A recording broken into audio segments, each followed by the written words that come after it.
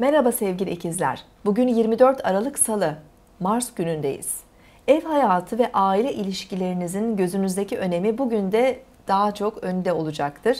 Zamanınızı evde geçirebileceğiniz gibi eğer dışarı çıkarsanız yanınıza iyi anlaştığınız akrabalarınızı da almanız mümkün olabilir.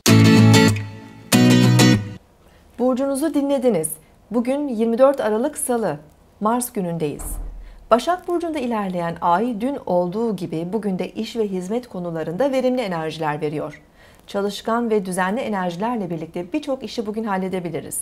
Ay, Jüpiter ve Satürn'le olumlu açı yapacağı için otorite kavramlarından gerekli destekleri de bulabileceğimiz bir gündeyiz.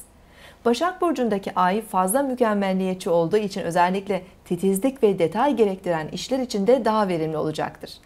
İlişkilerimizde eleştirel yaklaşımlarımız artabilir. Biraz daha esnek olmaya çalışmalıyız.